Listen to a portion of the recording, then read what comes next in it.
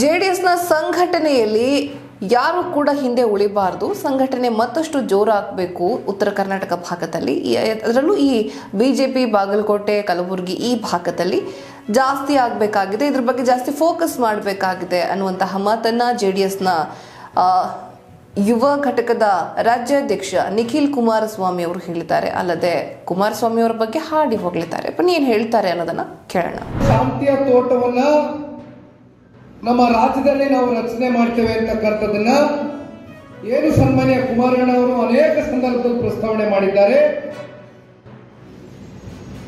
ಎಲ್ಲ ಸಮುದಾಯ, ವರ್ಗ, ಜಾತಿಗಳಿಗೂ ಕೂಡ ಸಾಮಾಜಿಕವಾಗಿ, ಆರ್ಥಿಕವಾಗಿ, ಶೈಕ್ಷಣಿಕವಾಗಿ ಶಕ್ತಿಯನ್ನು ತುಂಬಿಸ್ತಕ್ಕಂಥ ಕೆಲಸ ಜನತಾದಳ ಪಕ್ಷ ಅಧಿಕಾರದಲ್ಲಿದ್ದಂಥ ಸಂದರ್ಭದಲ್ಲಿ ಮಾಡಿದ್ದೇವೆ. ಅಧಿಕಾರದಲ್ಲಿ ಹಿಂದೆ ಹೋದಂಥ ಸಂದರ್ಭದಲ್ಲೂ ಕೂಡ ರಾಜ್ಯದ ಸಂಪತ್ತನ್ನ ಲೂಟಿ ಮಾಡತಕ್ಕಂಥ ಸರ್ಕಾರಗಳ ವಿರುದ್ಧವಾಗಿ ಪ್ರಶ್ನೆಯನ್ನ, ಧ್ವನಿಯನ್ನ ಇಟ್ಟಕ್ಕಂಥ ನೈತಿಕತೆಯನ್ನು ಉಳಿಸ್ಕೊಂಡಿರ್ತಕ್ಕಂಥ ಯಾರಾದ್ರೂ ನಾಯಕರು ಕರ್ನಾಟಕ ರಾಜ್ಯದಲ್ಲಿ ಇದ್ರೆ ಅದು ಒಬ್ರು ಸನ್ಮಾನ್ಯ ದೇವೇಗೌಡರು ಮತ್ತೊಬ್ರು ಕುಮಾರಣ್ಣ ಅವರು ಅಂತಕ್ಕಂಥದ್ದನ್ನ ಈ ಸಂದರ್ಭದಲ್ಲಿ ಹೇಳಬೇಕಾಗ್ತದೆ. ಇವತ್ತು ವಿಜಯಪುರದಲ್ಲೂ ಕೂಡ ಬಹಳ ಅತ್ಯಂತ ಯಶಸ್ವಿಯಾಗಿ ಸಭೆ ನೆರವೇರಿದೆ ಬಾಗಲಕೋಟೆನಲ್ಲಿ ನನ್ನ ನಿರೀಕ್ಷೆಗೂ ಮೀರಿ ಇವತ್ತು ಈ ಒಂದು ಹುಮ್ಮಸ್ಸು, ಈ ಒಂದು ಉತ್ಸಾಹಕತೆ ಏನಿದೆ? ಎರಡ್ ಸಾವಿರದ ಹದಿನೆಂಟರ ಏನು ತ್ರಿಕೋಣ ಸ್ಪರ್ಧೆ ಏರ್ಪಾಡಾಯಿತು. ಅನಿರೀಕ್ಷಿತವಾದಂತ ರಾಜಕಾರಣದ ಕೆಲವೊಂದಷ್ಟು ಬೆಳವಣಿಗೆಗಳಾಯಿತು.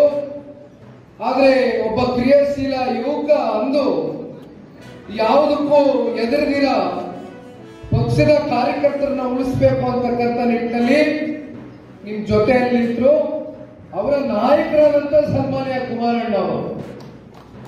ಯಾವತ್ತೂ ಕೂಡ ಅಡ್ಜಸ್ಟ್ಮೆಂಟ್ ರಾಜಕಾರಣ ಮಾಡ್ಕೊಂಡಿಲ್ಲ.